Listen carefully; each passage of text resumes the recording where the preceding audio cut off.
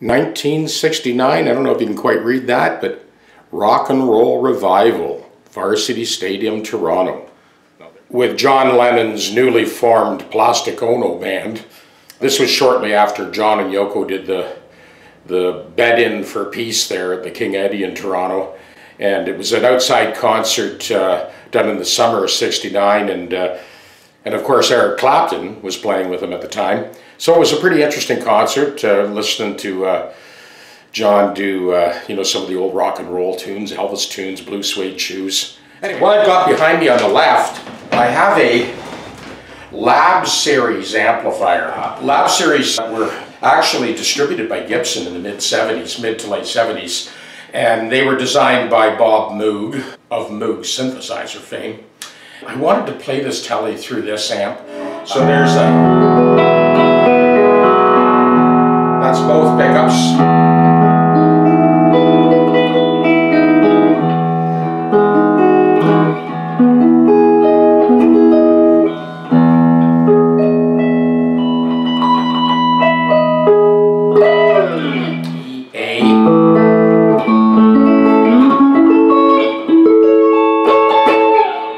D.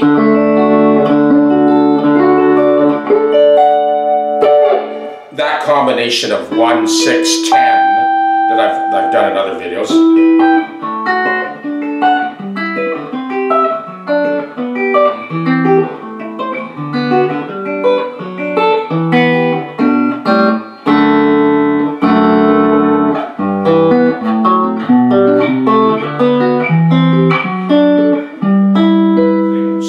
Say this thing is perfectly in tune.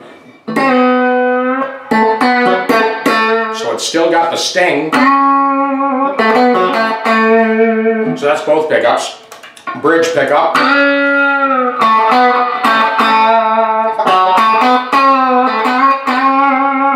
So now Dean's got tons of traction. Couldn't do that before. There was nothing left of those original frets. Oh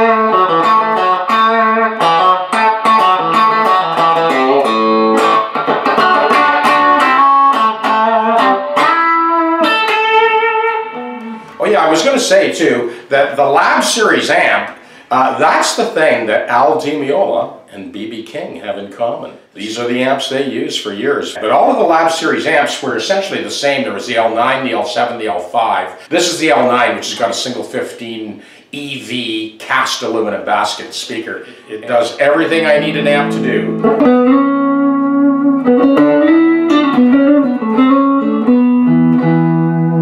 Uh, Dean is going to be blown away. You can do a folk gig, a classical gig, uh, you know, name a gig, you can do it on this guitar now. So all of the left-hand fingerboard gymnastics, vibrato,